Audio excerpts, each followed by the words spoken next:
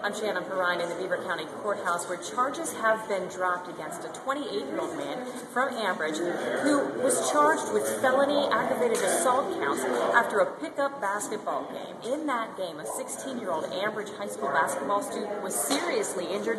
Malik Walker, you see him right here behind me, had a concussion, several fractures in his face and his wrist.